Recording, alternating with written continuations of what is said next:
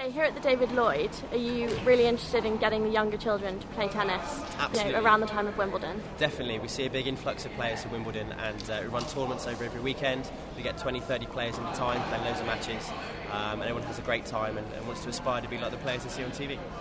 Okay, so have you been watching the Wimbledon?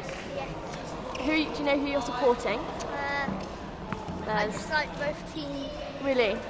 Okay, and what made what made you want to play tennis? Is it your friends or the sum the summer? I just like getting energy Really? and I just like doing jobs, not just staying at home. What made you want to play tennis? Is it the summer? Is it watching Wimbledon or? Um, it, it inspires me to like play, and I, whenever I watch Wimbledon, I really want to play tennis. Oh right, okay, that's great. And how often do you practice tennis? Um, mostly every day.